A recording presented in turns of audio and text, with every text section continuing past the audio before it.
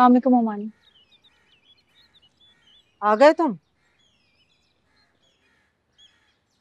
कोई खुशखबरी भी लाए हो या ऐसे ही सड़के नाप कर आ गए हो? तुमसे पूछ रही है। बस बस। ज़्यादा कुछ कहने की ज़रूरत नहीं है। हमारी शक्लों से पता चल रहा है कि क्या करके आए हो।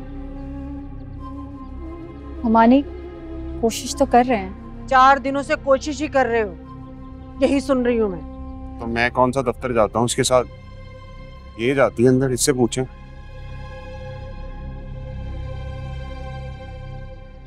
इसको क्या हुआ? वही कल रात वाली बात।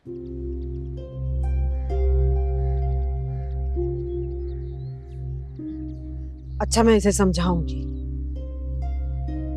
आओ बैठो।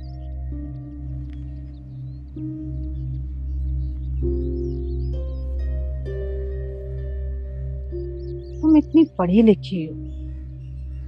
कोई छोटी मोटी नौकरी भी नहीं मिल रही तुम्हें। दो तीन जगह बात चली मोमानी लेकिन सैलरी इतनी कम थी। मैंने मना कर दी।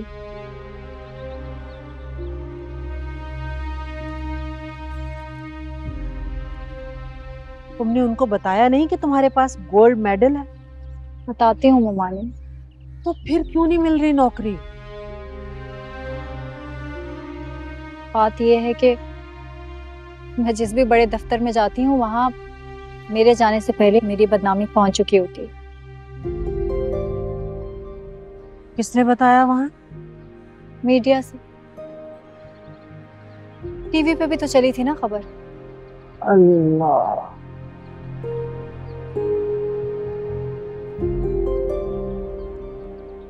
जिसके साथ तुम्हारा रिश्ता हो रहा था क्या नाम था उसका? वजाहत। उससे बात करके देखो उसे कहो कहीं नौकरी लगवा दे तुम्हारी। आपको बुरा नहीं लगेगा? अरे बुरा क्यों लगेगा? तुम्हारी उससे शादी होनी थी हुई नहीं थी। अब कहीं ना कहीं तो नौकरी करनी है ना तुम्हें। तो अच्छा है ना जान पहचान वाला मालिक मिलेगा तुम्हारे लिए भी आराम रहेगा। लेकिन मोमानी मैं वजाहत की मदद नहीं लेना चाहती। देखो, इस वक्त हम मजबूर हैं। हमें झुकना पड़ेगा। गिले शिकवों के लिए पूरी ज़िंदगी पड़ी है। बाद में नाराज़गी ज़ाहिर कर लेना मेरी मानो तो कल भी उससे बात करो। जितनी जल्दी तुम्हें नौकरी मिल जाएगी, तुम्हारे लिए उतना ही बेहतर है। समझ रही हो ना?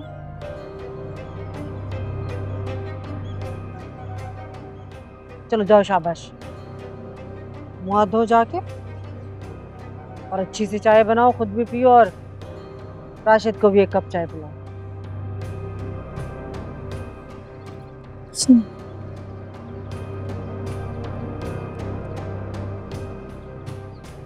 कर भला हो भला।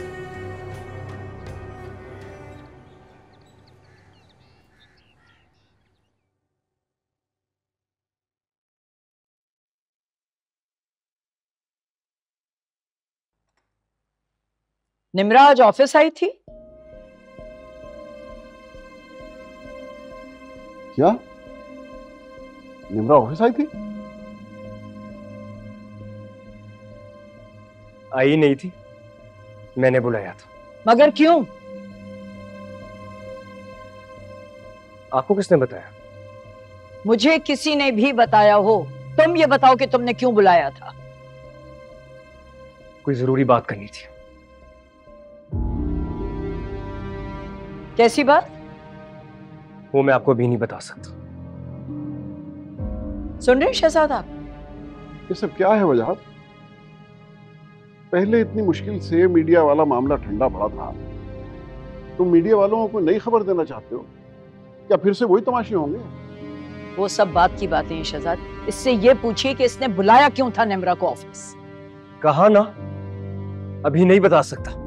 मैं तुम्हारी माँ हूँ। मुझे भी नहीं बताओगे तुम। बताऊँगा। मगर अभी नहीं। Assalamu alaikum, uncle, auntie. वालेकुम I hope I'm not disturbing you all. नहीं नहीं बिल्कुल नहीं। आप बैठो चाय पियोगी? नहीं अंकल एक्चुअली मेरा मूड नहीं है। मैं बोर हो रही थी तो मैंने आप सबको इस तरह देखा तो चली आई।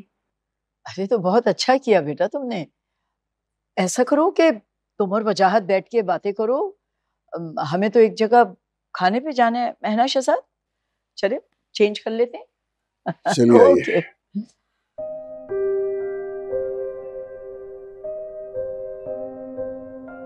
बजी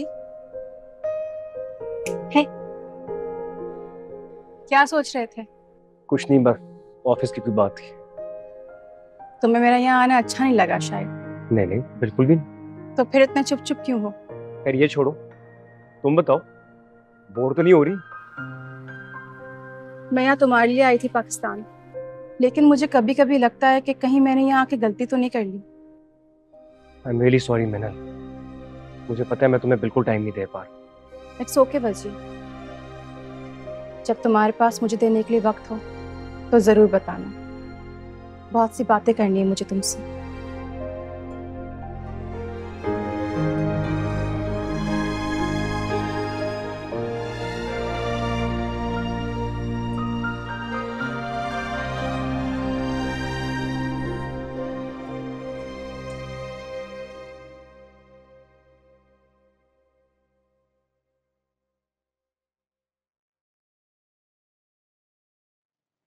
चाय आपकी। कौन आया था उसका। किसका?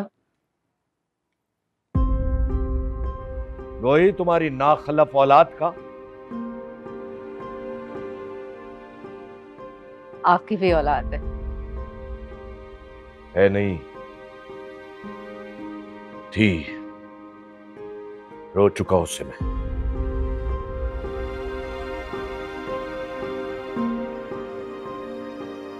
उसमें मुस्कुराने वाली क्या बात है? इसलिए कि जो आपके दिल में आप जबान से कह नहीं रहे आपके दिल में कुछ और चल रहा है। क्या चल रहा है मेरे दिल में? हुँ? अपनी बेटी की फ़िक्र। इसलिए तो बार बार उससे याद करते हैं। तो क्या हो गया? मैंने उसको याद कर लिया तो?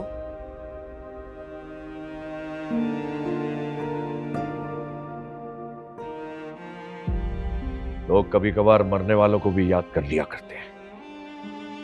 सिर्फ़ आप उसके सर पर हाथ रखकर एक दफ़ा कह दें कि आपको उसकी बात पर यकीन है। आपको भी सुकून मिल जाएगा और उसी। सुकून ही तो छीन लिया उसने मेरा। फिर मैं उसे सुकून से कैसे रहने दूँ?